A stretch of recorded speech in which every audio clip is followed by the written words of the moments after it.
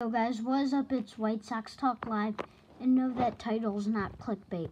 I do know why Yolmer Sanchez is on waivers. Now, I think personally this is the right, but if you don't, say why not, and tell me why in the chat. So, let's get into the video. This is I know why Yolmer Sanchez is on waivers. So as you guys know, the as you guys know, Yolmer Sanchez recently won his first Gold Glove award. Although Yolmer is really good in defense, he isn't very good on offense though.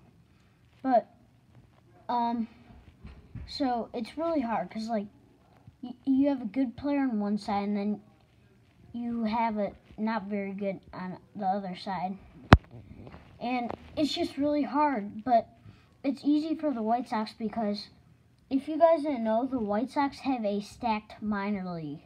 And when I say stacked, I mean like the second best in the nation. Padres first, but they, some of their prospects are coming up. But the White Sox have Luis Robert, gonna be going rookie of the year probably next year, or Madrigal will win rookie of the year. But those are two just absolute beasts. And even crazier, Michael Kopech is going to be here next year. Yeah, even though he was in the majors, he didn't play there for that long. So, um, so he, he can't, um, you can technically say he didn't really play yet. But guys, these off-season videos are doing great. Like that Grandal video, 60 views. That's insane for me. But, um, yeah, Yolmer, I know why. Oh, yeah, guys, tomorrow I'll have a video and it'll say how I am actually friends with Yolmer. That video is going to be so awesome because I actually am friends with Yolmer. Not going to spoil it, but I have it. I'll tell hints about Yolmer and why we're friends. Me and him, I've met him a couple of times. He's a really cool guy, but just really stinks because, like, he's a really good baseball player and he's an even funnier player. Like, he's so funny. If you guys haven't seen his signature move, oh, look that up. It's awesome. I got the Keep It Fun shirt on right now. I love that highlight of him dumping the water bucket on his head. It's so awesome. They they actually had one White Sox game where they were handing out free T-shirts of it. And if you guys want to go to a White Sox game, I would recommend choosing a giveaway game because their giveaways at Sox Park are so dope. So dope. They're awesome. If you guys didn't see my video if the White Sox sent me all this stuff, that's what they sent last year. And that's what they gave away. So you can see what they give away.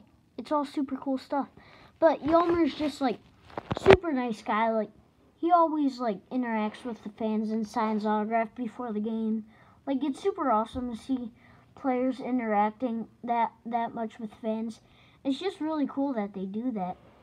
And he's just really good at baseball too. Like he's from the um he's from the Dominican Republic, I believe. So, yeah. A, a lot of different countries like Puerto Rico, Dominican Republic, Cuba are coming out with these really big baseball stars like Jose Abreu, Yoan Moncada, Luis Robert. It's just, it's really cool to see that like players like him are coming from different countries and not starting up the MLB, but making it like global. Like there's players from all around the world playing now, and it's it's really exciting that he got to play for the White Sox while he did, and I really love that time when he was on them. But it's really sad that he has to leave the White Sox right now. And if you guys didn't see my other Yolmer video, go watch that one. Because that one's even more dope. All my videos are awesome. So watch them all. Watch them. Right now. And I want to ask you guys a question. In the comments right now, can you type why you agree or don't agree with me that and tell me why you think Yolmer should or should not be on the waivers. I don't. I think he should be on the waivers and not. And I know why and and why not. I know why because the White Sox have a stud next year coming up, Nick Madrigal. One of the best second basemen probably going to be in baseball hitting wise. I don't know about his defense, but you guys will love him on offense. Doesn't strike out. Like barely strikes out. He does anything but strike out basically.